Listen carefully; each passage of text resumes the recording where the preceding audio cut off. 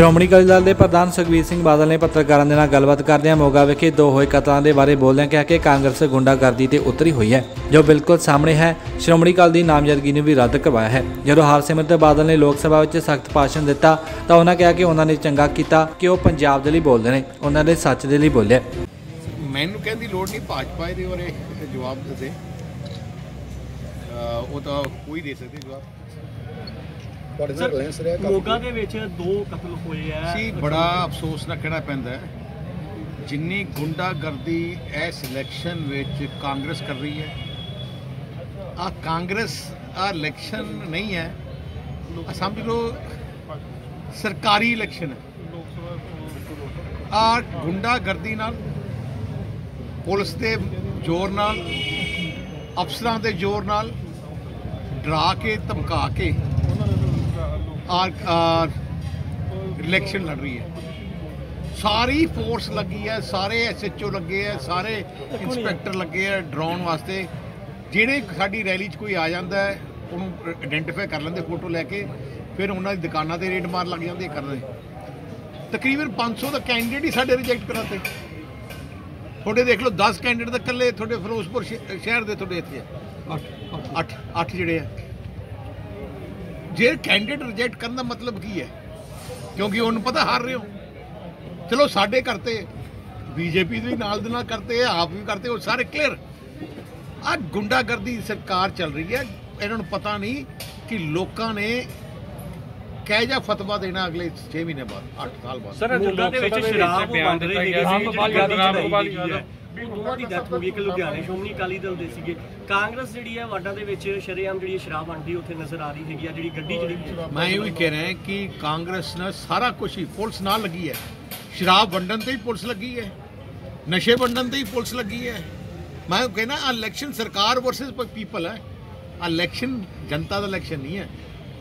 ਜਿੱਥੇ ਤੁਸੀਂ ਦੇਖ ਲਓ, ਸ਼੍ਰੋਮਣੀ ਅਕਾਲੀ ਦੇ 500 ਕੈਂਡੀਡੇਟ ਉਡਾਤੇ 22 2300 ਚੋਂ, ਤੇ ਫਿਰ ਕੀ ਕੀ ਕੀ ਰਿਜ਼ਲਟ ਹੈ?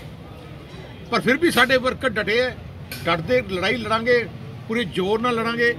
ਤੇ ਮੈਂ ਇੰਨਾ ਕਹਿਣਾ ਹੈ ਕਿ ਮੈਂ ਧੰਨਵਾਦ ਕਰਦਾ ਪੰਜਾਬ ਦੀ ਜਨਤਾ ਦਾ ਸਰ ਕਿ ਜਿਵੇਂ ਸਪੋਰਟ ਦੇ ਰਹੇ ਆ ਕਾਂਗਰਸ ਦਾ ਸਫਾਇਆ ਹੋ ਜਾਊਗਾ। ਆ ਇਲੈਕਸ਼ਨ ਬਾਅਦ ਆ ਇਲੈਕਸ਼ਨ ਦੇ ਬਾਅਦ ਜਿਹੜਾ ਗੁੰਡਾਗਰਦੀ ਜਿਹਨੇ ਕੀਤੀ ਹੈ ਇਹਦੇ ਬਾਅਦ ਤੁਸੀਂ ਦੇਖੋ ਅਗਲੇ ਅਸੈਂਬਲੀ ਇਲੈਕਸ਼ਨ ਚ ਇਹਨਾਂ ਕਿਉਂਕਿ ਗੁੰਡਾਗਰਦੀ ਚੱਲਣੀ ਨਹੀਂ ਫਿਰ ਪਤਾ ਲੱਗੂਗਾ। ਮੈਮ ਸਰ ਲੋਕ ਸਭਾ ਦੇ ਵਿੱਚ ਇੱਕ ਬਿਆਨ ਆਇਆ ਜੀ ਪ੍ਰਧਾਨ ਮੰਤਰੀ ਨਰਿੰਦਰ ਮੋਦੀ ਸਭ ਤੋਂ ਵੱਡਾ ਝੂਠਾ ਪ੍ਰਾਈਮ ਮਿਨਿਸਟਰ ਹੈ। ਤੱਕ- ਯਾਦਵ ਨੇ ਕਿਹਾ। ਅੱਜ ਤੱਕ ਦਾ ਸਭ ਤੋਂ ਝੂਠਾ ਪ੍ਰਾਈਮ ਮਿਨਿਸਟਰ ਮੋਦੀ ਹੈ। ਕਿਹਨੇ ਕਿਹਾ?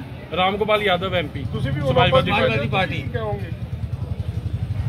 ਯਾਰ ਬਿਆਨ ਉਹਨੇ ਦਿੱਤਾ ਹੈ। ਤੇ ਮੈਂ- ਥੋੜੀ ਪ੍ਰਤੀਕਿਰਿਆ ਕੀ ਹੈ ਇਹਦੇ ਤੇ? ਕੀ ਕਿ ਝੂਠਾ ਹੈ ਜਾਂ ਸੱਚਾ ਹੈ ਵਾਕਈ ਵਧੀਆ ਹੁੰਦਾ ਪ੍ਰਧਾਨ ਮੰਤਰੀ ਨਰਿੰਦਰ ਮੋਦੀ ਜੋ ਮੁੱਖ ਮੰਤਰੀ ਸੀ ਤੇ ਪ੍ਰਧਾਨ ਮੰਤਰੀ ਜ਼ਮੀਨ ਆਸਮਾਨ ਦਾ ਫ਼ਰਕ ਹੈ। ਕੀ ਫ਼ਰਕ ਪੈ ਗਿਆ ਸਰ ਗੈਪ ਤੁਸੀਂ ਦੇਖੋ ਆਈ ਬਿੱਲ ਆਈ ਜਿਹੜਾ ਹੈਗਾ ਆਪਣਾ ਆ ਜਿਹੜੇ ਬਿੱਲ ਆਪਾਂ ਤਿੰਨ ਹੈ ਐਮਐਸਪੀ ਤੇ ਜਦੋਂ ਕਾਂਗਰਸ ਦੀ ਸੈਂਟਰ ਸਰਕਾਰ ਸੀ ਚੀਫ ਮਿਨਿਸਟਰਾਂ ਦੀ ਕਮੇਟੀ ਬਣੀ ਸੀ ਚੀਫ ਮਿਨਿਸਟਰਾਂ ਦੀ ਕਮੇਟੀ ਨੂੰ ਹੈੱਡ ਕੀਤਾ ਸੀ ਪ੍ਰਧਾਨ ਮੰਤਰੀ ਮੋਦੀ ਸਾਹਿਬ ਨੇ। ਉਹਨਾਂ ਨੇ ਆਪਣੀ ਰეკਮੈਂਡੇਸ਼ਨ ਦਿੱਤੀ ਸੀ ਉਦੋਂ।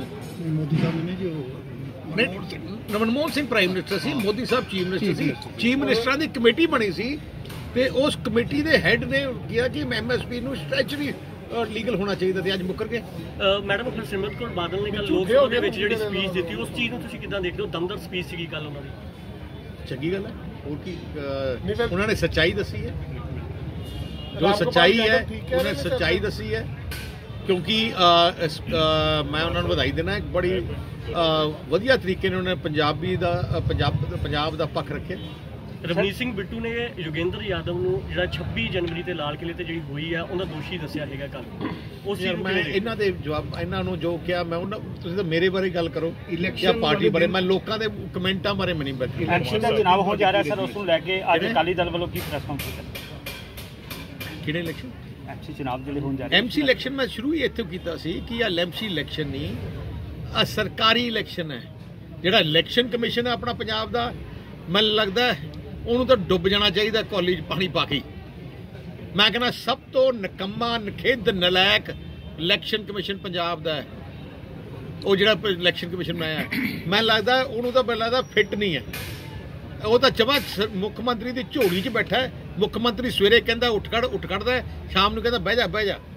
ਆ ਇਲੈਕਸ਼ਨ ਉਹਨੂੰ ਮੈਨੂੰ ਲੱਗਦਾ ਐ ਜੇ ਬੰਦੇ ਨੂੰ ਮੈਂ ਮੈਂ ਉਹੀ ਬੇਨਤੀ ਕਰਦਾ ਕਿ ਐ ਜੇ ਇਨਸਾਨ ਨੂੰ ਤਾਂ ਇਲੈਕਸ਼ਨ ਕਮਿਸ਼ਨ ਤੋਂ ਡਿਸਮਿਸ ਕਰਨਾ ਚਾਹੀਦਾ ਅਕਾਲੀ ਦਲ ਦੇ ਕੈਂਡੀਡੇਟ ਲੈ ਕੇ ਉਹਦੇ ਵਿੱਚ ਬੀਜੇਪੀ ਬਿਨਾ ਪੋਸਟਰਾਂ ਤੋਂ ਨਿਸ਼ਾਨਾ ਬਿਨਾ ਪੋਸਟਰਾਂ ਤੋਂ ਜਿਹੜਾ ਚੁਣਾਵ ਪ੍ਰਚਾਰ ਕਰ ਰਹੀ ਹੈ ਅਕਾਲੀ ਦਲ ਫੁੱਲ ਫਲੈਜ ਹੋ ਕੇ ਸਾਹਮਣੇ ਆ ਕੇ ਜਿਹੜਾ ਚੁਣਾਵ ਲੜਦੀ ਹੋਈ ਨਜ਼ਰ ਆ ਰਹੀ ਪਰ ਜ਼ਿਆਦਾਤਰ ਬੀਜੇਪੀ ਦੇ ਜਿਹੜੇ ਕੈਂਡੀਡੇਟ ਹੈਗੇ ਆ ਉਹ ਚੁਣਾਵ ਪ੍ਰਚਾਰ ਜਿਹੜਾ ਕਰ ਰਹੇ ਆ ਉਹ ਬੈਨਰ ਬੁਨਰ ਕੋਈ ਨਹੀਂ ਲਾ ਰਹੇ ਹੈਗੇ। ਯਾਰ ਉਹ ਤਾਂ ਫਿਰ ਉਹਨਾਂ ਦਾ ਉਹਨਾਂ ਦੇ ਸਰ ਵੜਿੰਗ ਨੂੰ ਲੈ ਕੇ। ਸਰ ਤੁਸੀਂ ਕੱਲ ਗਏ ਸੀ ਫੈਮਿਲੀ ਦੇ ਘਰੇ ਫਰੀਦਕੋਟ ਦਾ ਦਲ ਕੀਤਾ। ਔਰ ਟ੍ਰਿਪਲ ਮਰਡਰ ਜਿਹੜਾ ਸੁਸਾਈਡ ਦੇਖੋ ਕਿੰਨਾ ਵੱਡਾ ਪਾਪ ਕੀਤਾ ਇੱਕ ਕਾਂਗਰਸ ਦੇ ਐਮਐਲਏ ਨੇ। ਪਰਿਵਾਰ ਖਤਮ ਕਰ ਦਿੱਤਾ। ਤੇ ਤੁਸੀਂ ਅਫਸੋਸ ਦੀ ਗੱਲ ਹੈ ਜਿਵੇਂ ਮੈਂ ਕਿਹਾ ਪੁਲਿਸ ਦਾ ਇੰਨਾ ਇੱਕ ਬੰਦੇ ਬਾਈ ਨੇਮ ਸੁਸਾਈਡ ਹੋਇਆ। ਇੱਕ ਬੰਦੇ ਨੂੰ ਅਰੈਸਟ ਨਹੀਂ ਕੀਤਾ। ਸ਼ਰੇਆਮ ਐਮਐਲਏ ਵੀ ਸ਼ਰੇਆਮ ਉਹਦਾ ਜ਼ਾਲਾ ਵੀ ਘੁੰਮ ਰਿਹਾ। ਇਹ ਤਾਂ ਆ ਪੁਲਿਸ ਕੀ ਹੈ? ਆ ਪੁਲਿਸ ਹੈ? ਮਤਲਬ ਵਰਦੀ ਪਾਉਣੀ ਹੈ ਮਤਲਬ ਸ਼ਰਮ ਦੀ ਗੱਲ ਹੈ ਇਹਨਾਂ ਨੂੰ। ਨੂੰ ਲੈ ਇੱਕ ਬਲਸਨ ਕੱਲ ਅਸ਼ਵਨੀ ਸ਼ਰਮਾ ਕਹਿ ਕੇ ਗਏ ਨੇ ਵੀ ਮੋਹਾਲੀ ਦੇ ਵਿੱਚ ਅਕਾਲੀ ਦਲ ਨੂੰ ਕੋਈ ਕੈਂਡੀਡੇਟ ਨਹੀਂ ਮਿਲਿਆ। ਸਾਡੇ ਤਾਂ ਸਾਰੇ ਕੈਂਡੀਡੇਟ ਚੱਲ ਰਹੇ ਲੜ ਰਹੇ ਹਾਂ ਹਾਂ ਸਾਰੇ। 14 ਫਰਵਰੀ ਦਾ ਕੀ ਅਕਾਲੀ ਦਲ ਕਿਵੇਂ ਉਮੀਦਵਾਰਾਂ ਦੇ ਆਪਣੇ ਵੋਟਰਾਂ ਨੂੰ ਅਸੀਂ ਤਾਂ ਬੇਨਤੀ ਕਰਦੇ ਹਾਂ ਕਿ ਪ੍ਰਵਾਹ ਨਾ ਕਰੋ ਡਟ ਕੇ ਲੜੋ। ਇੰਨੀ ਜ਼ਾਲਿਮ ਸਰਕਾਰ ਜਿਹੜੀ ਕਰਪਟ ਸਰਕਾਰ ਹੈ ਜੇ ਲੁੱਟਿਆਂ ਦੇ ਲੁਟੇਰਿਆਂ ਦੀ ਸਰਕਾਰ ਹੈ ਇਹ ਸਰਕਾਰ ਨੂੰ ਚਲਦਾ ਕਰਨਾ ਬਹੁਤ ਜ਼ਰੂਰੀ ਹੈ। ਐਮਸੀ ਇਲੈਕਸ਼ਨ ਡਰਨ ਦੀ ਲੋੜ ਨਹੀਂ। ਡਟ ਕੇ ਵੋਟ ਪਾ ਕੇ ਇਹਨਾਂ ਨੂੰ ਕੱਢੋ। ਕੱਲੀ ਪੰਜਾਬ ਦੀ ਕਿ ਸੈਂਟਰ ਦੀ ਵੀ ਸਰ?